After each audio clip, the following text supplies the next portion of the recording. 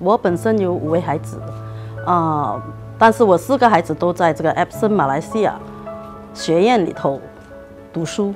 Because I would like to choose a world-class facility of boarding school for my children, this is what I have choose Epsom Malaysia. My second daughter, Christodil, she scored two A star and one A in her A level result.